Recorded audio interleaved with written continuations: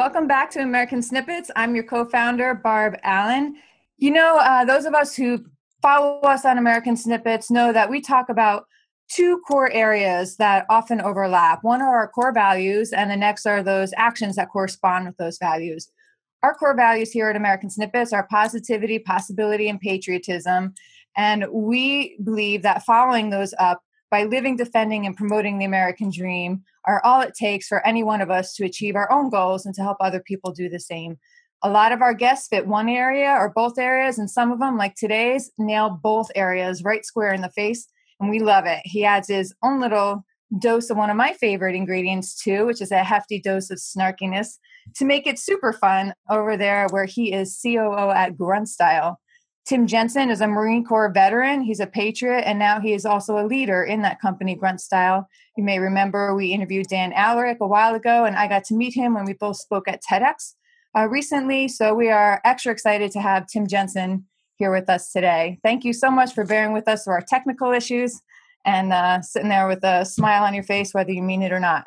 Oh, no worries. No worries. Thank you for having me on, Barb. This is absolutely uh, incredible and uh, really excited about this. Uh, so you'll have to excuse me. I have a nine month old son in the background and he's uh, going through some teething right now. So it's been an interesting time Perfect. at Jensen House. Yeah, I did that uh, four times, so oh. I, I, oh. feel your pain. teething. Um, so we were watching you all last night on your porch side drinking session there with Dan Aller, and we took turns. Uh, Dave had a drink with you, I had a drink with Dan, and we tapped out like pretty quick. You guys are hardcore. well, you know, uh, when you like your own stuff, it's very easy to drink. and uh, I gotta say, America bourbon is uh, that fine of a of a, a good Kentucky bourbon, and it's just absolutely amazing. Yeah, and that is just one of the things that you all do at Grunt Style, which is a building community. We'll t- circle back real quick for any anybody who wasn't um, cool enough to catch our first episode there with Daniel Alarik, or maybe hasn't yet heard of Grunt Style, which I imagine will be changing soon. But let's touch real quick on Grunt Style and um, and what it is and the community that it it upholds. Sure, absolutely. So uh, Grunt Style started out as you know just an idea, a vision, right? Like all businesses, truly, right? Um, but you know, Daniel had a vision, and he wanted to take what he had learned in the military, and it's pride and self, pride military, pride and country, all the things that you know that were really in, ingrained to young men and women uh, going through the that military lifestyle. And what better way of doing that was, you know, when you get out of the military, well, create a shirt that you know resembles their pride, and you know that's how Grunt Style really started. And um, you know, it's a fabulous story, and Dan tells it much better than I do. He's he's quite the orator uh, and storyteller. But you know, uh, in the in the years that we've been around since 2009, we've really grown into this powerhouse of a company.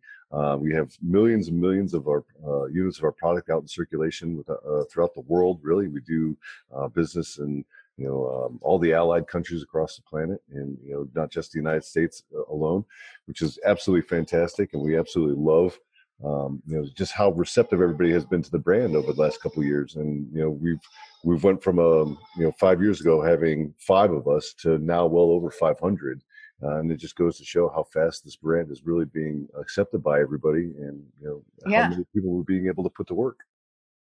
Yeah and so you said a couple things there i'm going to touch on. Um, five years ago you were the fifth employee to come on at grunt style. Right. But you weren't hired first. This story I love. I love that he didn't hire you first. You went into interview with Dan and he was like, thanks, but no, right? No thanks. And yeah, then yeah. he, he called you back and he's like, on second thought, you know, like, would you come back? And you said you could have just told him whatever you wanted to tell him. Like you could have been all pissed off and told him to go scratch or, you know, right. whatever it is you want to say, which I say often. Um, but you didn't. You know, yeah, I, I, think it was a test. You know, uh, I think back yeah. out about it a, a, lot. You know, and um, I think that the what he provided was that job. Hey, if you really want that, you really want to be part of this team, come in and and have the lowest job on the on the totem pole. Come in and be the guy that sweeps the floors, right? And um, you know, I, I think about it all the time, and I'm really excited that I. I had that opportunity and I said yes because I did start at the very bottom. There was a job that was lower in that company than what I was yeah. doing and I went from the uh, bottom all the way to the top um, over you know five years, and it's just been absolutely incredible. That is pretty. Much, so, what do you think it does for you to have started at that? I mean, I think that is an invaluable experience and mindset to have and carry with you as you rise through the ranks um, that you you never lose sight of what it is you know you know what it is that almost everybody does there because you've done it right and that's and that's it right? So you know when i started out at the bottom i started folding shirts and then i went to be the press operator lead press operator production manager operations manager chief operating officer partner. And i've been uh, you know really involved in building every part of that uh, business right? Uh, from you know that very bottom process all the way to the top. And then i would go back and i would go and, and look at everything we did and re-evaluate everything and say okay we're weak here. We need to improve here um, you know, going and training other individuals how to, um, you know, really do their job more efficiently and going after big opportunities and saying, hey, you know what, there's an opportunity in front of us, but we're not necessarily suited uh, to accomplish this right now because we're a little weak in this area and then you know we go after and we take it and you know uh, really put a lot of effort into building it out and identifying those weaknesses but you can't do that unless you know your business right and if you yeah. don't know how to identify those weaknesses you know you could just sail right through them and the next thing you know you've broken your company because um, you know you weren't you weren't quick enough to identify those things so i think it's absolutely important you know and and having that perspective where i've been able to really look at it from the bottom now i'm looking at it from the top and looking down uh, and seeing the, this empire that dan and myself and mike burt the cmo have have really built over um, you know the last five years and it's just it, it, it amazes me because you know it wasn't long ago yeah. that uh, you know i was a comic book artist, and before that, I was a, a, union carpenter, right? And I was good at all those things as well, but it's nothing to like what I do now, to where it's creativity, it's leading, it's developing and mentoring. Um, those are all just things that you know I, I'm absolutely grateful, and I tell Daniel every day that you know the one thing I, I enjoyed about being in the Marine Corps the most was being a leader, and now I feel like yeah. I'm in that position again, and, and uh, if I didn't say yes to that job five years ago, I would never be here. Yeah. And so, I mean, sometimes it can look like a slap in the face or a snub, but it's really this enormous opportunity mm-hmm. in disguise. And I think that is something that is worth repeating. I had to learn that the hard way. And I know a lot of other people do. When you invest all some, you invest, you say to yourself, everything's going to be awesome. If this one meeting goes exactly the way I think it's supposed to go, right? And then right. you go, you have that meeting, you have that event, and it doesn't go the way you want, but something that seems insignificant comes out of it. And I know I can think of times in the past where I've been like, oh shit, man. I mean, like I was supposed to go there when that door was open, but I took it as a snub and I lost an opportunity. Right. Um, and so only when I learned to recognize those, things have started changing for us to it's part of what helps things start changing for us when you recognize that those little things are actually opportunities and you just got to kind of get out of your own way and your own head and not be so focused on a particular outcome determining your absolutely. path or your absolutely you know it, it takes it takes a lot to really yeah. do that right because you know uh, there's a lot of uh, you know ego there's a lot of self you know self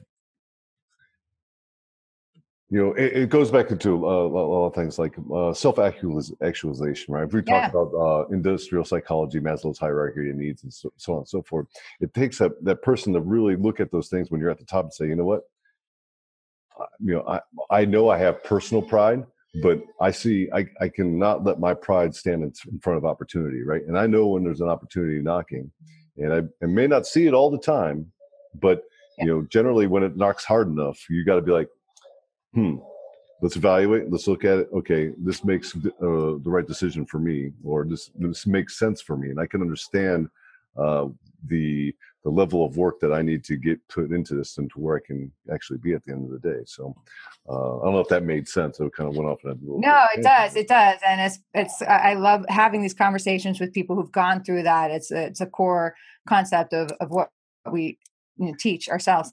Uh, so, how did you go about rising through the ranks? Was it like when somebody else got hired, you got bumped up a notch, or was it like creating? Because now you have uh, some almost 200 employees, right, or more?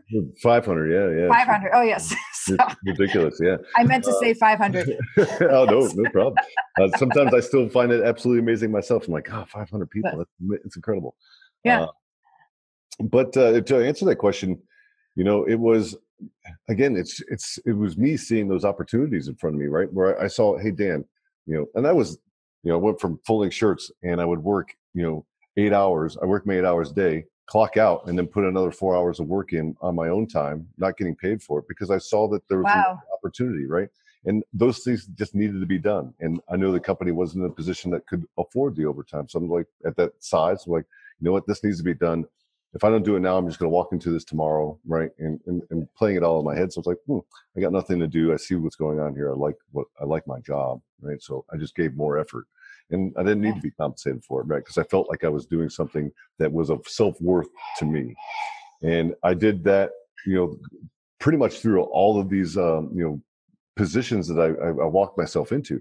I don't think uh, ever, I was ever given anything in this company. Uh, I, I, certainly had to work for everything I, I accomplished, um, but how I did that was just looking at opportunities and and saying again, you know what, my pride. I have pride in myself, but I also know what I'm a part of here. And there's going to be times that you know what, it it makes sense not to you know uh, to clock out and and and still put in the work that needs to be done. Now, is that legal? I mean, you, you, can get into all those those oh, ramifications oh, from a state perspective, yeah. right? And you're like, oh, well, yeah, you know.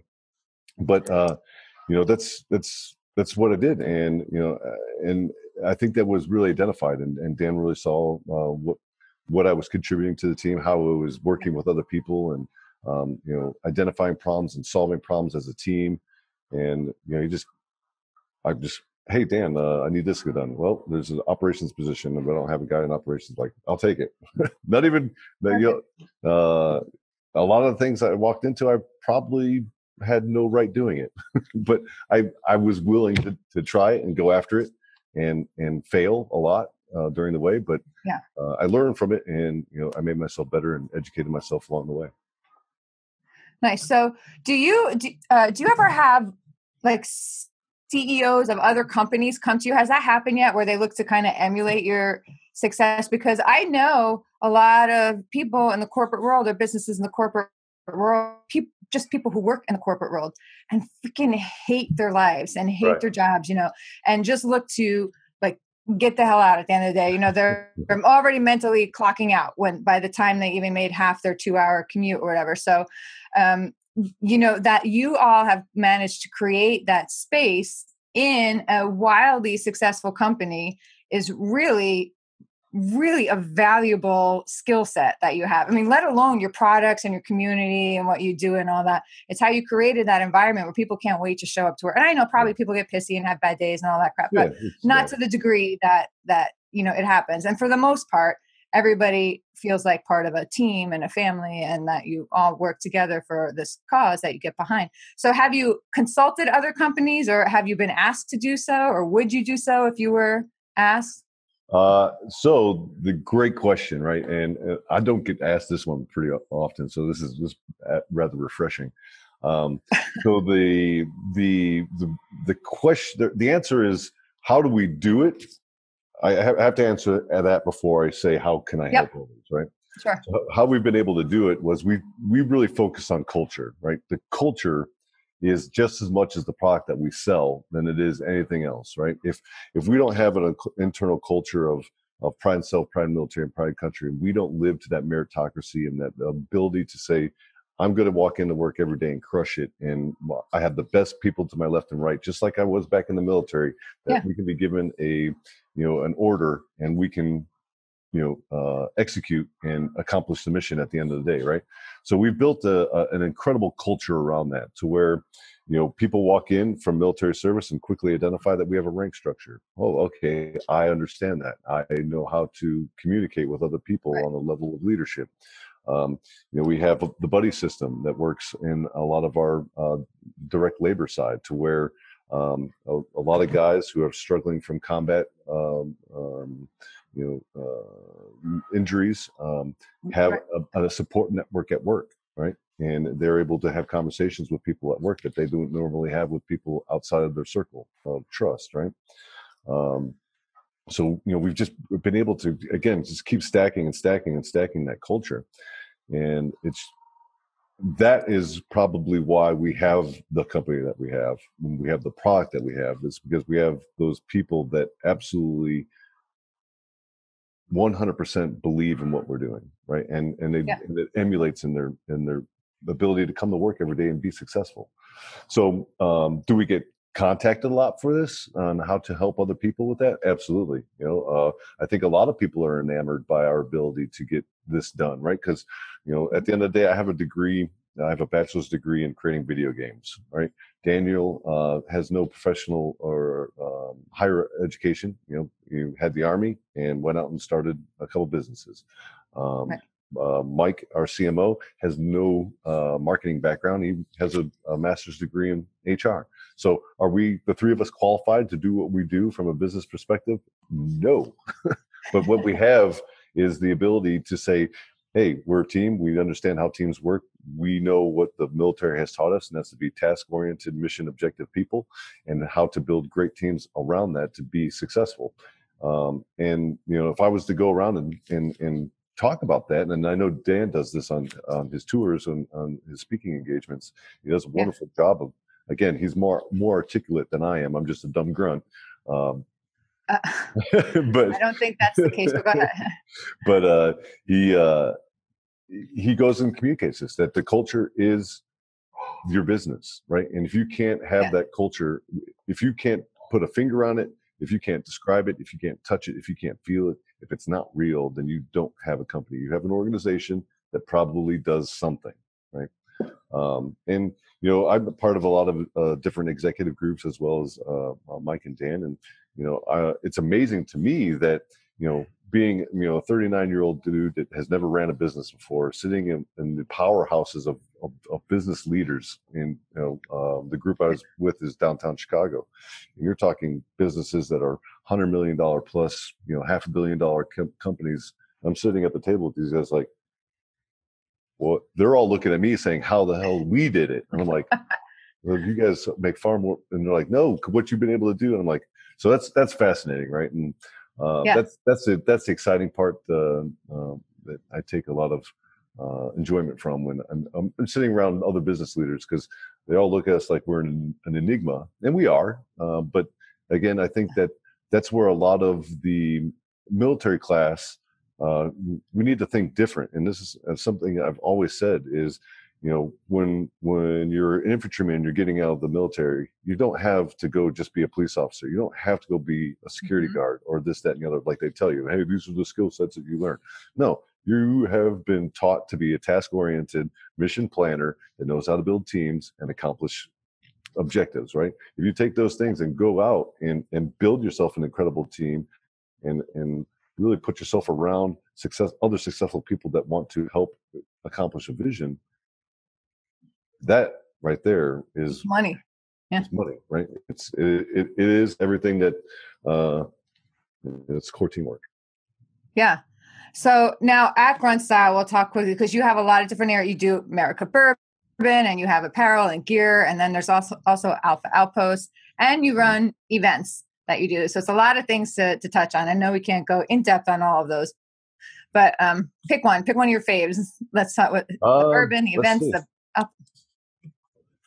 Uh, well, the bourbon is probably one of my favorites, but we just started new one. And uh, I think this one's really exciting. It's called G3 Dynamics. And what G3 Dynamics is, um, it's really the answer to competitions entertainment, right? So we know that there's uh, a huge array of gun owners in this country, right? 30 million actually uh, are involved in competitive target shooting, right? Yeah. If you can imagine, there are about 15,000 people that go to Vegas to watch a bowling tournament, right? Which is probably more boring than golf. oh God, I don't know. I don't know. It depends on which one serves booze and which one doesn't. There- that is a motivator, right? Go ahead. Yeah. the the thing I've always under understand. I've done a lot of compu- competitive shooting. Um, you know, we've taken um, my shooting partner and I've taken second uh, in a, a competition out west. We've taken fourth in the in one of the most prestigious uh, sniper competitions, which I ended up buying. Um, and the thing about it is, there's never anybody that comes out and watches these things. It's just a, a bunch of guys and gals that come out and shoot a match, and they're there for two, three days, and then they go home. I'm like, you guys have the most you know incredible personalities. I'm looking around, I'm seeing all this opportunity. I'm like, um, why hasn't there not been a business that has started something that has put more entertainment behind this? And like, oh, because we're a bunch of shooters, right? And you know, all the shooting gun, all the in the shooting uh, companies, you know, they they just come in and you know they give money around and product around to you know just to put on the prize table and this that and the other. And I'm looking at having conversations with these guys. I'm like, hey, you guys know you're only marketing to the same small group of people that are consistently coming to your matches and they're winning your product, but they're selling it on eBay, so it's not really doing anything for you, right? And like, that, that's, how angry do you guys have to be to to say we're not doing this anymore? Um, yeah. So, you know, the G3 Dynamics really um, came uh, came to fruition, and uh, I built a great team that uh, is really answering that. Uh, we're putting on our first competition here in um, June, first week of June, June 2nd and 3rd at Rock Castle Shooting Facility in Park City, Kentucky. It's called the Gunslinger 2 uh, Gas Gun Match.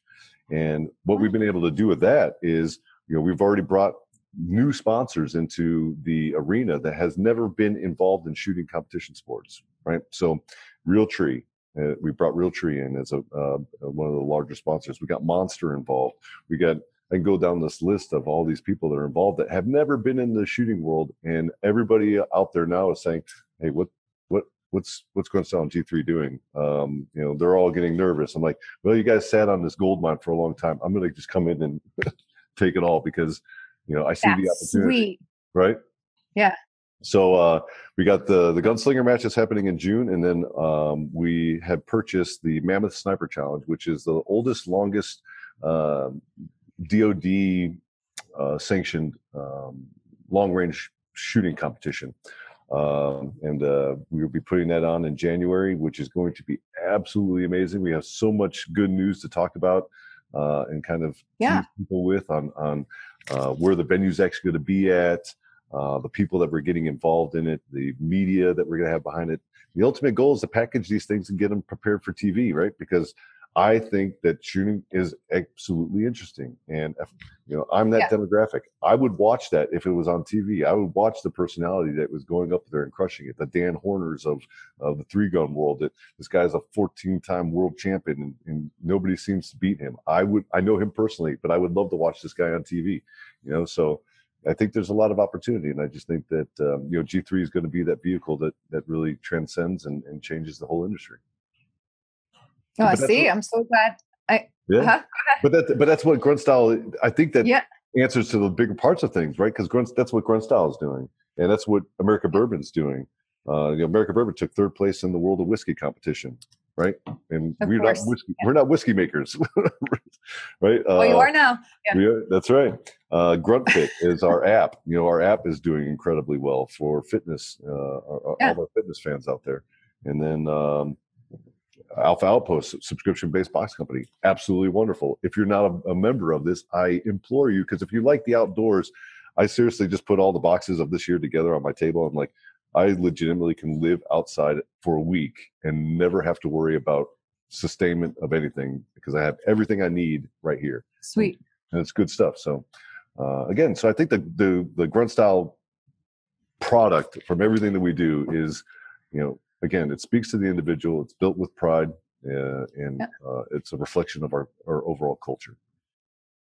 Yeah, and it attracts the people that are into the same things that you all are doing. You know, obviously, it's I can think of about fifty people probably in my life who'd be like, uh, but they say that about pretty much everything I do too. But like, you know, I'm someone who would go into that community and would love it. So you're marketing to a specific type of person mm-hmm. and that's all you need because there are so many of those people out there and it's a largely untapped audience and a largely untapped demographic because n- nobody really has gone to the lengths that you all have to reach out to people in this demographic you know right. we're largely overlooked or or, right. or maybe dismissed I'll yeah. tell you, 2017, Grunt Style talked to 14, wrap your mind around this 14% of the world population. 1.14 wow. billion people we talked to last year in our social media. Yeah. And that's absolutely incredible. I, I don't know of any other businesses that are able to do that. I don't even think Nike is doing that in, in their social media game.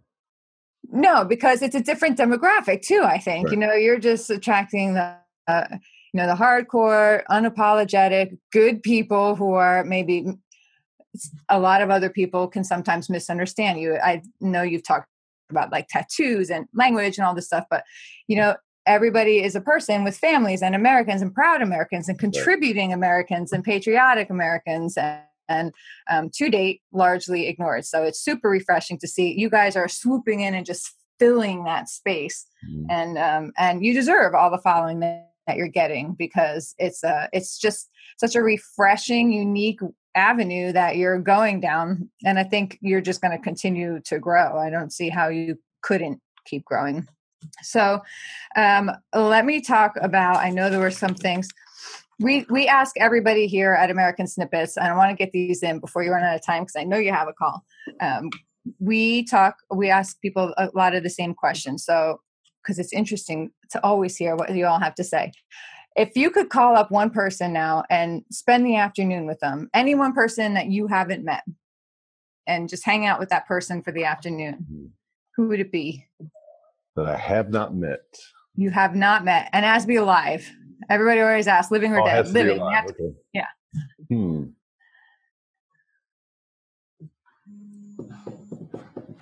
That's a great question. Um, I would probably say, are you familiar with Thomas Sowell? I can't, with who? Thomas Sowell. He's an economic, um, you know, uh, you know, emeritus. Uh, he's huge into uh, political science and, and economics. Okay. Uh, that is a, a, secret passion of mine. Uh, we just uh, outed you. right.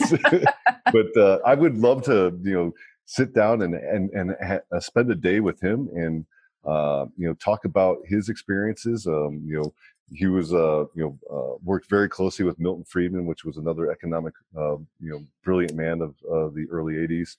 Um, and uh, you know i i love the idea of, of, capitalism. I love the free market. I love those things. Uh, it's very again it's a dirty passion of mine that i like to just kind of uh, you know read like frederick hayek. I can go all, all these books of, of individuals i've read because it's fascinating right? Because at the end of the day if you think about it the one thing and, and this is a probably the only time you'll ever hear me talk about this, but it's a great question.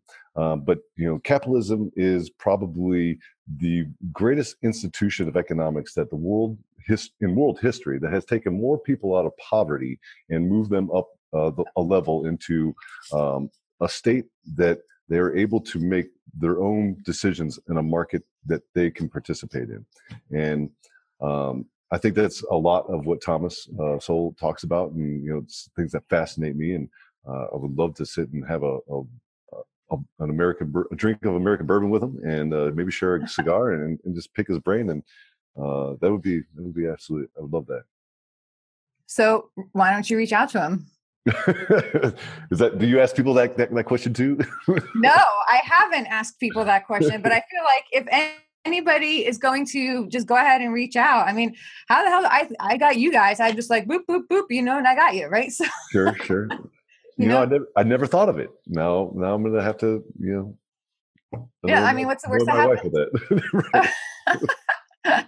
okay. Um, and obviously, we talk a, lot about the American dream. We have a very clear idea of what that means to us, and in a very non-cheesy way. I know it's often like tossed about like some sort of pretty fairy tale phrase, but there's very serious significance behind it for us, and it's why we work so hard. At it, it's what hanging on to that is what brought me through what I've been through. Mm-hmm. Um, and now we're turning around to help other people get there as well. So we're very curious to know what do you think the American dream is?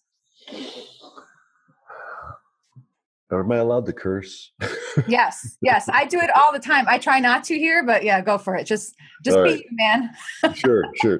I think the American dream is to say "fuck you" to to to to people, right? To to, to stand up and say, you know what, I don't like what you're saying and I don't like the way that you're doing things. I'm going to do something different because I think that I can do it better. Right. And I, I think that that is essentially what has been the foundation of this country. Right. Yeah. The, the, the, the pilgrims came over here because they said, fuck you to the British. Right.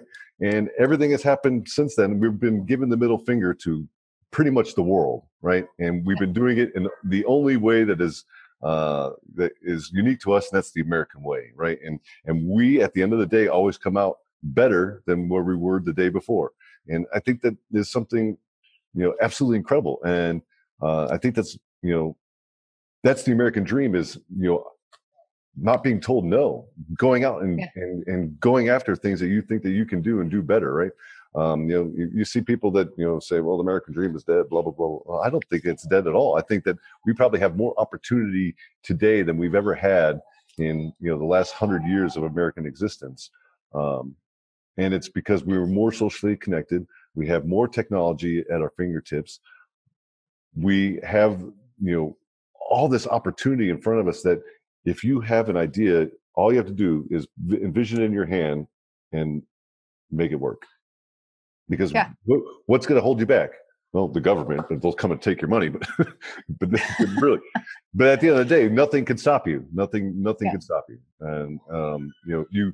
I don't think you could say that if you're somewhere else uh, in another country, right? You, you know, the, those conditions don't exist. Yeah, no, that is what we believe too. That's why we went all in doing what we're all doing, you know. Right. So, and then I just want to say to you quickly, um, I see that you all are working with TAPS with Bonnie Carroll Tragedy Assistance Program for Survivors. So I just want to say thank you for that. I am a Gold Star wife. I lost my husband in Iraq in 2005. So um, that you know obviously ties a lot into what I do. But when I see other people tying it into what they do too, uh, it makes it does make a big difference even in our mindsets and our psyche you know every time we see somebody doing their own to to just remember especially as we go out into the world and live among communities who really just are shocked to know that we're still at war and there are people still dying every day you know so when we see people doing that it, it means a lot to us and uh, and bonnie i know well so thank you very much for doing that um, and we're going to stock up on those too. We also have a, uh, our own shirt coming through you all, which we're super excited Fantastic. to get out. I'm gonna send it to you guys and have you guys uh, sign it for us or something like that. Love it. Um, yes, so that's really it. I know you have uh, have things going on. We have a storm rolling in here as I speak. So I'm going to just thank you very much for bearing with us and taking the time to to do this interview with us. We will uh, be posting it and we'll tag you in it and get it out to you um, as soon as we have it good to go. Fantastic. Well, thank you so much for having me on the show. This has been an absolute pleasure, and I had a lot of fun doing it. And uh, hopefully, uh, you know what, we could do it again soon, and we could talk uh, some new stuff that Grunt Style is going to be rolling out later this year. And I'd love to, I'd love to have that opportunity to do it again. Uh, yeah, I'm, I, I recorded you saying that, so you know I'm going to be like, "Hey, Tim, here we go." I know I, I, would love that. I mean, you know, as we're growing, uh, it's fun to be able to actually offer back too. And what we're looking to do is, as we grow and evolve, um, we're going to be able to contribute to people who we feature you know, to, towards their efforts and their events. So it's all going to come back around. And it'll be fun for us to to do that and be a part of, of you know keeping people up to date on what you're all doing. So thanks. I look forward to it.